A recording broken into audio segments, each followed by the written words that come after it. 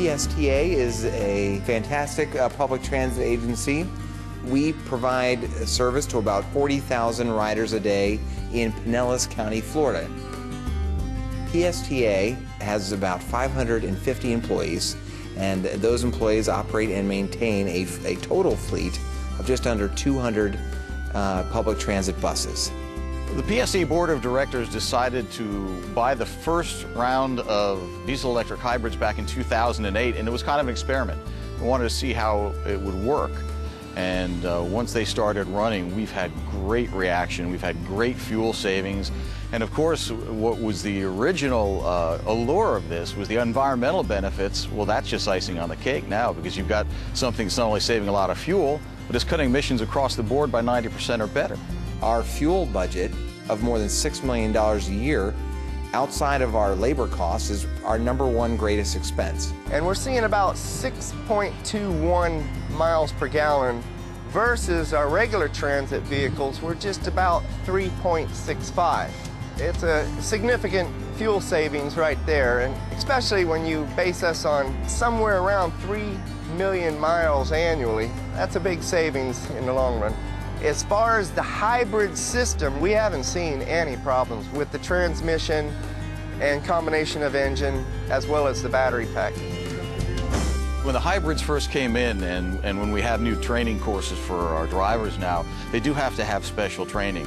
You want to maximize the efficiency of these units, and to do that, you can't go from your, your uh, accelerator to brake and back and forth. With these uh, machines, when you take your foot off the accelerator, the motor that's built into the transmission turns into a generator which starts recharging the batteries and it slows the bus down just like brakes. If you go from accelerator to brake, accelerator to brake, and some drivers do do that, you're not going to get the fuel savings that these things can provide. The learning curve is really pretty quick. The thing that I notice is the bus is actually doing some of the work for you and uh, coming into the stops. Uh, it's a smooth ride. It's, it's, it's not quite as demanding as some of the diesels. Through the help of Allison's support, they came here and helped us dial in these hybrids to suit the drivers at the best setting we could to still achieve good fuel mileage. You know, when a driver is getting ready to get into one of these hybrid vehicles, what I normally tell them is that they're going to enjoy the smooth ride, they're going to enjoy the, the bus handling, they're going to find the day to be less taxing, and they're going to make a pretty easy transition. Our region is expanding and the demand for public transit is expanding. In this down economy, we've actually seen a growth in our ridership. We had record ridership, and so it just makes sense to provide hybrid buses for all these new markets of new riders that might be trying us out for the first time. I think there's a sense that we've raised the level of the experience for the passenger. And we noticed a lot of our riders really taking notice. They loved the fact that, that we were running hybrids. We got some nice media attention about it.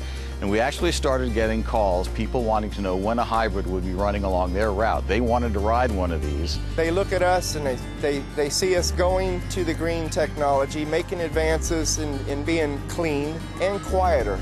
The, the buses are far quieter than a regular diesel bus going through neighborhoods and what have you. It has just been so surprising and such a success at PSTA. Not just the fuel economy, which is very important, and not just the environmental part, but if you're trying to build a transit system and gain ridership, it's a wonderful public relations tool because, because people love these things. And in our experience right now, we're, I guess, averaging about 40% improvement in fuel economy. That's huge. And, and when you look at that and the fact you're doing the right thing for the, the environment, it's, it's a win-win situation.